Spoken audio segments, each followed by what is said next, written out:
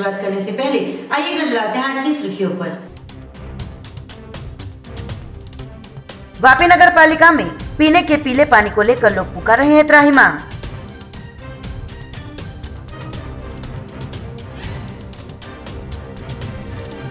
कपराड़ा में शिक्षकों द्वारा मतदान जागृति बाइक रैली निकाली गई।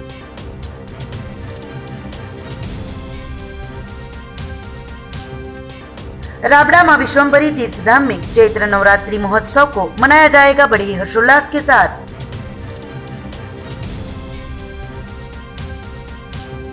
दादरा नगर हवेली में शिवसेना उम्मीदवार और कांग्रेस के उम्मीदवार ने अपना अपना नामांकन पत्र दाखिल किया। अब समाचार विस्तार से। वापी के गीता नगर टंकी फलिये में पालिका द्वारा दिए जाने वाला पानी पिछले 10 दिनों से पीले रंग का आ रहा हो, स्थानिक लोग पुकार रहे हैं त्राहिमाम वापी गीतानगर टंकी फली में पिछले दस दिनों से लोगों को पीने का पानी, जो गंदा और पीले रंग का आ रहा हो पालिका द्वारा ये पानी दिया जाता है। जो पानी पीने के लिए लोग मजबूर होने का बता रहे हैं। गंदा पानी पीने से लोगों का कहना है कि कई बीमारियाँ फैल सकती है। साथ ही अच्छा पानी खरीदने के लिए काफ़ी पैसे खर्च करने पड़ते हो। यही पानी पीकर चलाना पड़ रहा है। तो अब इस समस्या से त्रस्त होकर लोग नगर पालिका में शिकायत करने की बात कर रहे हैं। साथ ही कई बार पालिका को इसके बारे में सूचना भी दी गई थी। लेकिन अभी तक कोई भी कदम उठाया गया नहीं हो। जल्द से जल्द इस समस्या पर ध्यान देकर सही कदम उठाया जाए ऐसी लोक आवाज़ जोरों से उठ रही पानी खराब आ रहा है। नगर पालिका में हम लोग जाएँगे देने के लिए। और ये पानी हमारे लोग के पास पैसा नहीं रहेंगे तो हम लोग कहाँ से लाएँगे? पैसा वाला तो खरीद के पी लेगा। और हम लोग कहाँ से पियेंगे? गरीब आदमी कहाँ दस रुपये पाएँगे? कितने दिन से पानी खराब आ रहा है? आज हो गया दस पंद्रह रोज। ऐसे ही आ रहा है पानी? हाँ ऐसे ही आ रहा है। कपराड़ा तहसील में शिक्षकों द्वारा मतदान जागृति बाइक रैली का किया गया था आयोजन? कलेक्टर कचेरी चुनाव शाखा वलसाड़ और जिला शिक्षणाधिकारी कचेरी वलसाड़ आयोजित स्वीप मतदान जागृति अभियान कार्यक्रम बाइक रैली शिक्षकों द्वारा निकाली गई थी। रैली कपराड़ा तहसील के पंचायत कचेरी से बाइक रैली की शुरुआत की गई थी। रैली का शुभारंभ डेप्यूटी कलेक्टर द्वारा श्रीफल फोड़कर किया गया था और डीईओ वसावा द्वारा हरी झंडी दिखाकर बाइक रैली का प्रस्थान किया गया था।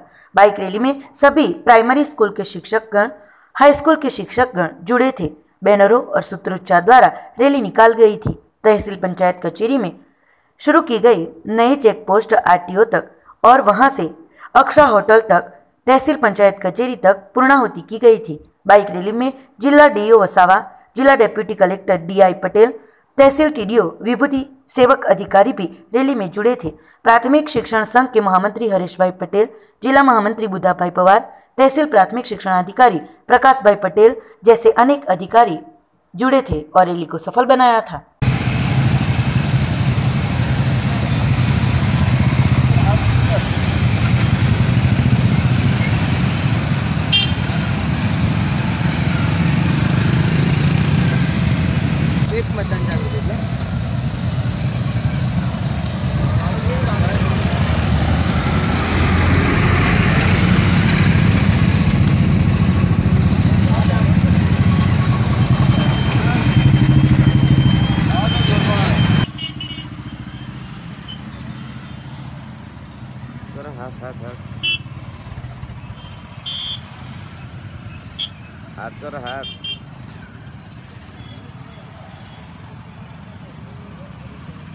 આજરોજ જિલ્લા ચૂંટણી અધિકારીની કચેરી જિલ્લા કલેક્ટર અને વલસાડ જિલ્લા જિલ્લા શિક્ષણ અધિકારીની કચેરી દ્વારા અને મામલતદાર અને કપરાડા તાલુકા વિકાસ અધિકારી દ્વારા સંયુક્ત રીતે અમે મતદાન જાગૃતિ માટેની, સ્વીપ અંતર્ગત માટેની એક રેલીનું આયોજન કરવામાં આવ્યું હતું. આ રેલીની અંદર પ્રાથમિક શિક્ષકો અને માધ્યમિક શિક્ષકો જોડાયા હતા. અને એમાં સૂત્રોચ્ચાર સાથે અને કેટલાક સૂત્રોની સાથે, બેનરો સાથે અમે અહીંયા પ્લાનિંગ કર્યું હતું. બસો જેટલા શિક્ષકો જોડાયા છે અને અમારી પણ અપીલ એવી છે કે વધારે ને વધારે મતદાતા એ બાબતથી અવેરનેસ થાય જાગૃત થાય અને સૌથી વધારે અને સારામાં સારી ટકાવારી અ, મતદાન માટેની નોંધાય એવી અમારી સૌની અપીલ છે वलसाड़ के पास राबड़ा गांव में आए हुए मां विश्वम्बरी तीर्थ धाम में चैत्र नवरात्रि महोत्सव 2019 की भव्य तैयारियां शुरू हो गई है वलसाड़ के पास राबड़ा गांव में मात्र 90 दिनों में निर्माणाधीन भव्य मां विश्वम्भरी का अलौकिक तीर्थ धाम आया हुआ है हर रोज यहाँ देशी और विदेशी पर्यटक साथ ही कई भक्तजन भी दर्शनों के लिए आते हैं। तो आने वाले 6 अप्रैल 2019 से चैत्र नवरात्रि का कार्यक्रम 14 चार 2019 तक रखा गया है। यहाँ वैदिक परंपरा के अनुसार सूर्य याग महायज्ञ और रास गरबा का भव्य आयोजन किया जा रहा है। तो इस चैत्र नवरात्रि महोत्सव 2019 में सहभागी बनने हेतु हर एक भाविक भक्तों को आमंत्रित किया गया है।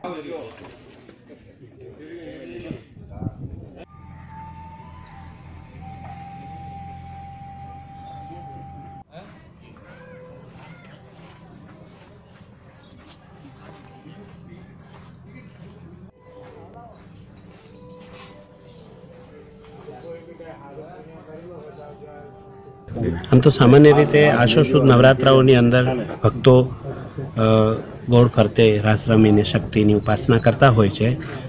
તે શક્તિની ઉપાસના કરે છે. પણ અહીં દેવ દાનવ અને માનવ સ્વયં શક્તિ પણ મહાશક્તિની આરાધના કરવા માટે આવે છે એટલે ચૈત્રી નવરાત્રિ અને એની તૈયારી રૂપે આટલો સરસ શુભ સંદેશ અંતિમ વ્યક્તિ સુધી જાય માટે આપ સૌને પત્રકાર પરિષદ યોજવામાં આવે છે. એ અલગ ત્યાં છે કે અત્યારે જે ગરબાઓ ગવાય છે, ધીમે ધીમે સંસ્કૃતિનું ઊંડાણ શિશરું થતું જાય છે. આપણા મૂળભૂત પ્રાચીન ગરબાઓ જે છે તે જ અહીં ગવાય છે અને માની ઉપાસના, માની માની સાધના, આરાધના કેવી રીતે થાય એનું એક આદર્શ ડેમોન્સ્ટ્રેશન છે અહીંયા. એ ત્યાં જુદું પડે છે. મા પાછળ મહાપાત્રનું તપ છે અને આગળ મા છે. માણસ જે સુખ, શાંતિ અને આનંદ ભૂલ્યો છે, એ ફરી એકવાર નિર્માણ થાય અને કોઈ પણ ઇન્સેન્ટિવ વગર વ્યક્તિ માના કામે લાગે, એ મેઇન હેતુ છે. સમાચારોમાં સમય ચલા છોટી સી બ્રેક કા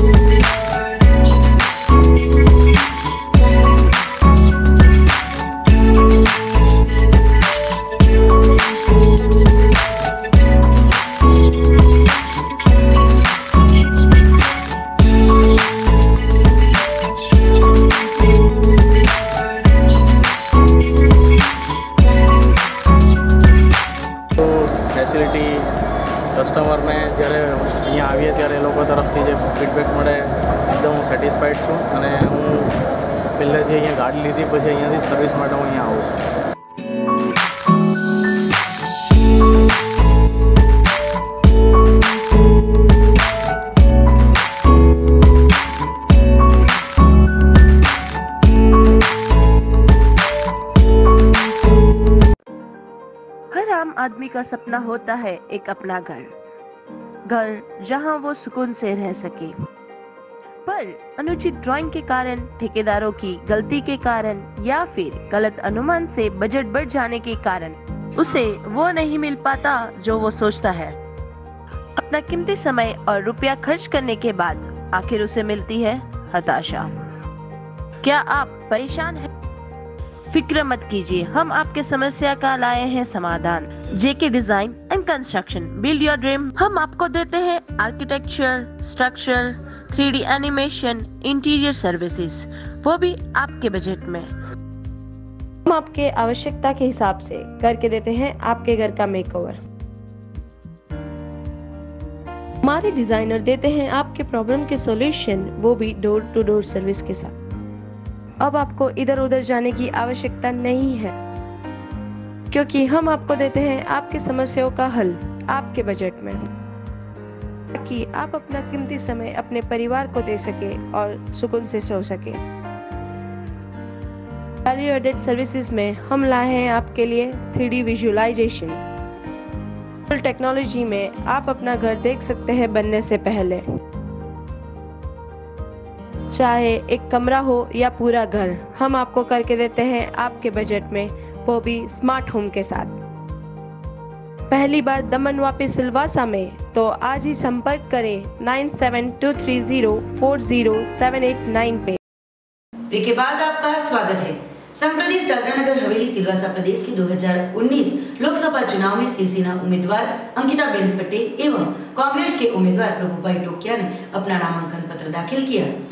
संघ प्रदेश दादरा नगर हवेली सिलवासा प्रदेश के 2019 लोकसभा चुनाव में नामांकन पत्र दाखिल करने का आज आखिरी दिन था, जिसमें शिवसेना की उम्मीदवार श्रीमती अंकिताबेन पटेल एवं इंडियन नेशनल कांग्रेस के उम्मीदवार प्रभुभाई टोकिया ने अपना नामांकन पत्र अपने भारी समर्थकों के साथ समाहर्तालय पहुंचकर निर्वाचन अधिकारी कन्नन गोपीनाथन के समक्ष दाखिल किया।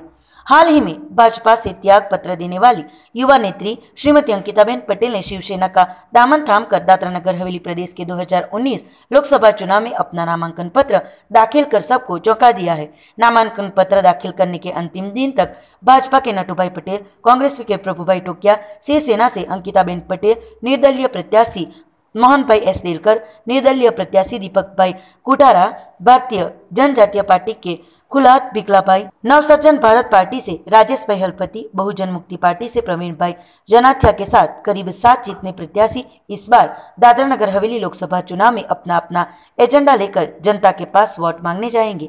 दादरा नगर हवेली प्रदेश के राजनीतिज्ञों का मानना है कि इस बार दादरा नगर हवेली प्रदेश में चतुष्कोण मुकाबला होने जा रहा है। किंतु मुख्य रूप से भाजपा के प्रत्याशी नटू भाई पटेल एवं निर्दलीय प्रत्याशी मोहन भाई एस. डेलकर के बीच कड़ा मुकाबला देखने को मिलेगा ऐसा माना जा रहा है। कॉन्स्टिट्यूंसी के लिए आ, मैंने नॉमिनेशन फ़ाइल किया है।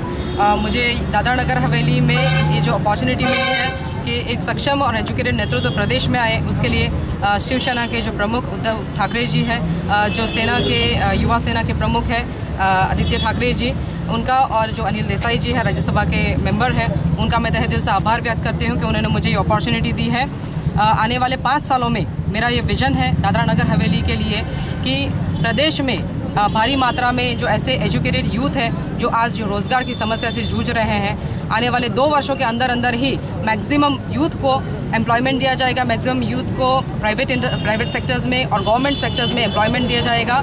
इसके साथ साथ जो हमारे एजुकेशन का स्तर है, वो दिन प्रतिदिन नीचे आता जा रहा है पासिंग परसेंटेज भी काफ़ी कम है दादरा नगर हवेली का, उसमें एक मज़बूत प्रयास किया जाएगा।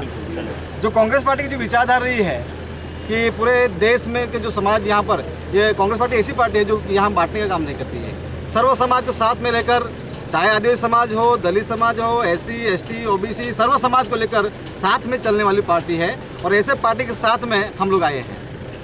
तो जो यहाँ पर हमारे माननीय राहुल गांधी जी हमेशा कहते आ रहे हैं कि देश में लोकशाही खतरे में है और संविधान खतरे में है। तो सबसे पहली बात यहाँ पर आती है कि अगर संविधान खतरे में है और अगर लोकशाही खतरे में है तो फिर यहाँ पर देश के भारत देश का अस्तित्व खत्म है। संघ प्रदेश नगर हवेली से अपक्ष उम्मीदवार के तौर पर धीरूभाई पटेल ने अपना नामांकन पत्र दाखिल किया। संघ प्रदेश दादरा नगर हवेली के आरक्षित लोकसभा की सीट के लिए उम्मीदवारी फॉर्म नामांकन भरने के आखिरी दिन धीरूभाई पटेल ने अपक्ष के तौर पर अपना उम्मीदवारी नामांकन पत्र दाखिल किया।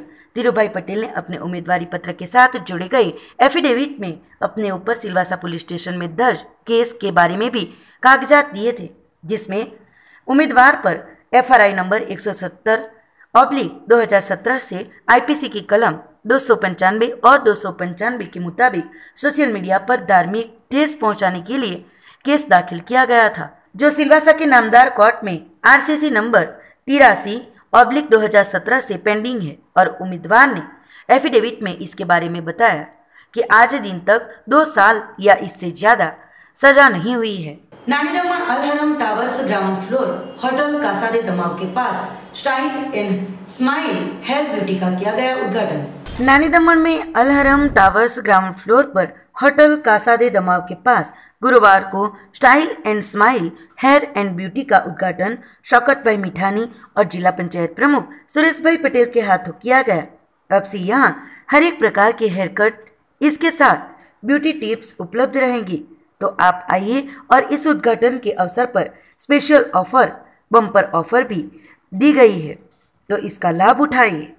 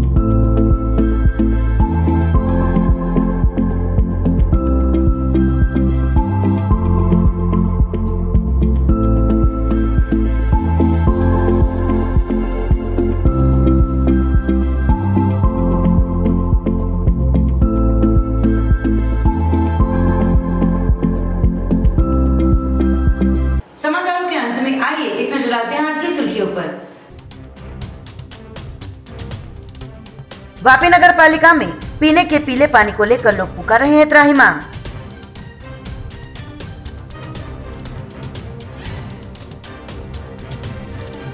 कपराड़ा में शिक्षकों द्वारा मतदार जागृति बाइक रैली निकाली गई।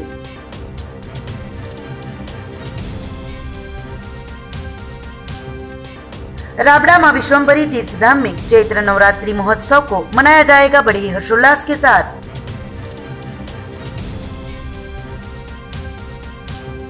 दादरा नगर हवेली में शिवसेना उम्मीदवार और कांग्रेस के उम्मीदवार ने अपना अपना नामांकन पत्र दाखिल किया।